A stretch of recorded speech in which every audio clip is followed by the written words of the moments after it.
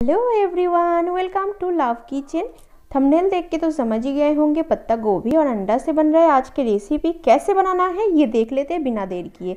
एक पत्ता गोभी ले लिया है, लगभग एक किलो तक है। सबसे पहले इसका जो पत्ती ऊपर वाला अच्छा नहीं है, वो मैं निकाल रही हूँ। और इसे बहुत ही अच्छे से धुल भी लेना है, क्योंकि इसके जो डंठी रहते हैं, डंडल जो रहते हैं, वो बहुत ही मिट्टी रहते हैं।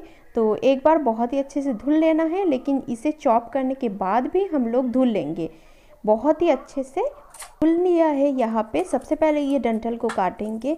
बहुत लोगों को पत्ता गोभी चाहे कितने अच्छे से बना के उठ दिया जाए, उन्हें पसंद ही नहीं आते हैं।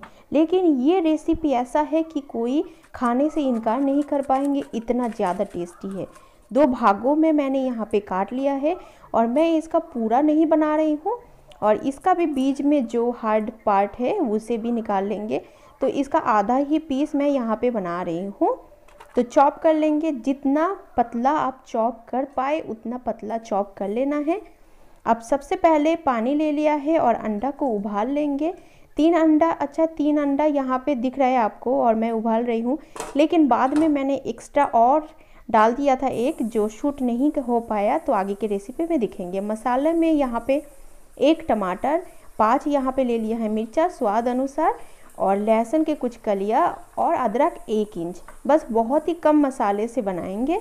सबसे पहले इसे ग्राइंडर में डाल के पेस्ट कर लेंगे। पेस्ट यहाँ पे हो चुके हैं। और क्या लग रहा है देख लेते हैं। आलू ले लिया है मैंने छोटे साइज़ का छः और उसे बीज में से कट कर लिया है। ऐसे बड़े बड़े टुकड़ों में रखा है। तो देखने में भी अच्छा लगता है और खाने में बहुत ही ज़्यादा टेस्टी। एक बड़े साइज़ प्याज चॉप कर लिया है। और क्या क्या लग रहा है पूरा रेसिपी में मैं बताऊँगी। अंडा यहाँ पे उबल गए हैं और इसे थोड़ा सा ठंडा कर लिया। अंडा को छील लिया है। सबसे पहले इसमें कट का निशान लगाएँगे ताकि अंदर नमक और जो भी मसाला है उसका फ्लेवर बहुत ही अच्छे से जा पाए। तो सबसे पहले नमक डाल रही हूँ हाफ़ टी स्पून से थोड़ा सा कम और हाफ़ टी स्पून यहाँ पे हल्दी डाल के बहुत ही अच्छे से मिक्स कर लेते हैं। मैरिनेट कर लेते हैं। मैरिनेट करके बस दो चार मिनट रख लेंगे। और हम लोग शुरू करते हैं अब बनाना। जिसके लिए मैंने ले लिया है एक कढ़ाई। कढ़ाई में डाल रही हूँ थोड़ा सा कुकिंग ऑयल कोई भी कुकिंग ऑयल यूज़ कर सकते हैं। तेल जैसे ही थोड़ा गर्म हो जाए तब डाल रही हूँ अंडा। और बहुत ही अच्छे से फ्राई कर लेना है जब तक इस अंडा के ऊपर कलर ना आ जाए। मैं आज थोड़ा कम फ्राई कर रही हूँ। आप चाहे तो और ज़्यादा कलर आने तक फ्राई कर ले। ये हो चुके हैं। उतार लेते हैं और शुरू करते हैं। जिसके लिए मैं थोड़ा सा तेल और डाल रही हूँ। और अब तेल गर्म होने के बाद डाल रही हूँ चॉप किया हुआ प्याज। प्याज को बहुत ही अच्छे से मिक्स कर लेंगे। मीडियम फ्लेम में गैस को रखते हुए प्याज को हम लोगों को फ्राई कर लेना है। नहीं तो हाई फ्लेम करने से गैस प्याज एकदम जलने लगते हैं। थोड़ा सा नमक डाल रही हूँ, एक चुटकी भर। प्याज फ्राई करते टाइम हल्का सा नमक डालने से बहुत ही जल्दी से फ्राई, प्याज फ्राई हो जाते हैं। अब डाल रही हूँ आलू।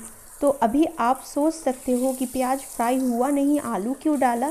क्योंकि ये आलू कच्चा है और ये आलू को हम लोगों को फ्राई कर लेना है। तो आलू और प्याज एक साथ में फ्राई करने से टाइम बहुत ही बच जाते हैं और बहुत ही झटापट बन जाते हैं। अब डाल दूँगी थोड़ा सा हल्दी। हल्दी डाल के मिक्स कर लेते हैं। हल्दी डालने से प्याज और ज़्यादा जल्दी फ्राई हो जाते हैं और आलू में कलर आ जाते हैं। तो अब ढक देना है स्लो फ्लेम में करते हुए।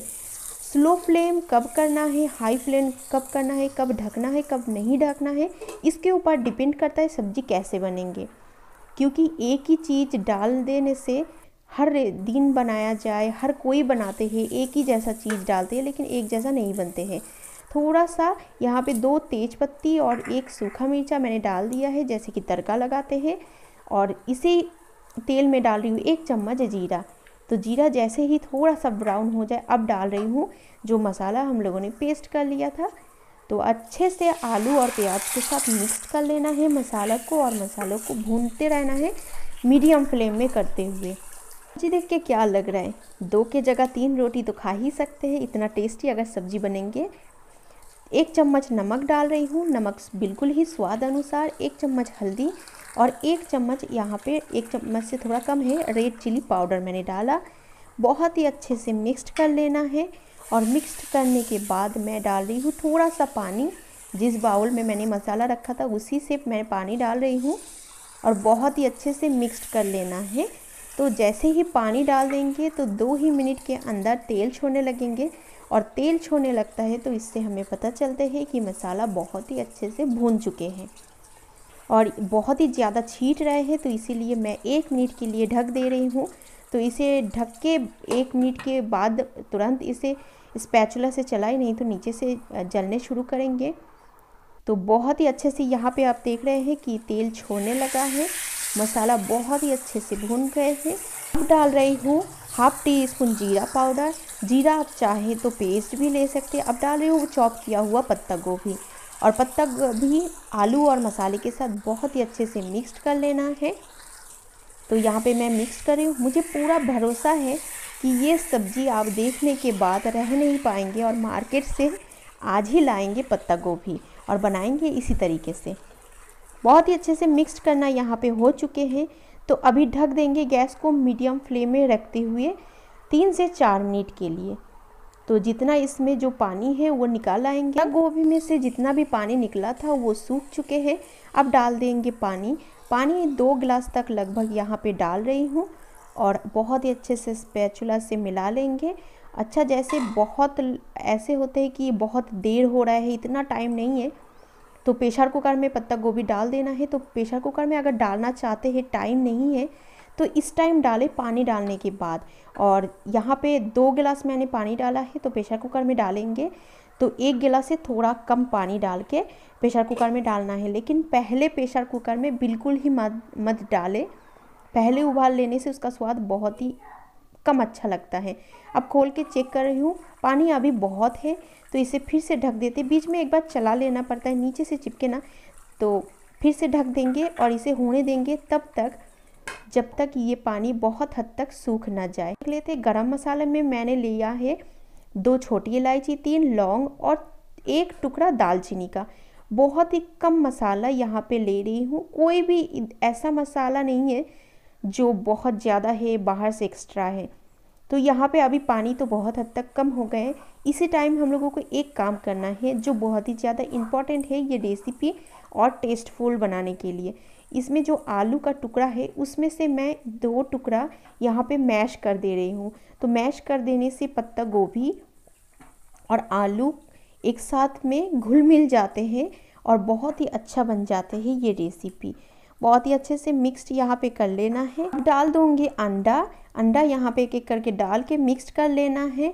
बहुत ही प्यार से मैं एक एक वीडियो बनाती हूँ। और जब आप सब्सक्राइब करते हो एक एक सब्सक्राइब जब मैं देखती हूँ, ज़्यादा हो रहा है तो मुझे और वीडियो बनाने के लिए मन करते हैं। तो अगर पसंद आए वीडियो तो चैनल को ज़रूर सब्सक्राइब कर लेना। ढक देंगे यहाँ पे पाँच मिनट के लिए बिल्कुल ही स्लो फ्लेम में। ये बहुत ही ज़रूरी है। लास्ट में पत्ता गोभी जब स्लो फ्लेम में पाँच मिनट में दम पे पकाए जाते हैं तो बहुत ही टेस्ट बनते हैं। तो ऐसे एक बार ज़रूर ट्राई करके देखना। यहाँ पे सब्ज़ी बहुत ही अच्छे से हो गए हैं। अब डालेंगे गरम मसाला जो हम लोगों ने पेस्ट कर लिया था बहुत ही कम गरम मसाला यूज़ करके बहुत ज़्यादा फ्लेवर तभी आते हैं जब सब्ज़ी कंप्लीट होने के बाद गरम मसाला डाला जाता है और तुरंत 30 सेकंड के अंदर गैस ऑफ़ किया जाता है। तो बहुत ही अच्छे से खुशबू आते हैं। तो ढेर सारा गरम मसाला डालने की ज़रूरत नहीं पड़ते हैं। तो ये हो चुके हैं। मिक्स करना गैस मैंने ऑफ़ कर दिया है। अभी से बारी है खाने का, लेकिन आपको खाने के लिए करना पड़ेगा थोड़ा सा मेहनत, पत्ता गोभी लाना पड़ेगा और बनाना पड़ेगा इसी तरीके से। तो सर्विंग बाउल में मैंने सर्व कर लिया है अभी। पत्ता गोभी की सब्ज़ी अच्छा लगा है तो लाइक ज़रूर कर देना। आपका एक लाइक हमारे लिए तो बहुत ही ज़्यादा इंपॉर्टेंट है तो इसलिए लाइक कर दीजिए। और कैसा लगा है कमेंट करके बताना बिल्कुल ही मत भूलना। आप कमेंट करते हो तो मुझे पता चलता है ना कि अच्छा हुआ है या फिर बेकार कैसा लगा है। तो मिलते हैं अगली कोई रेसिपी में। आज के लिए इतना ही। Tata bye bye take care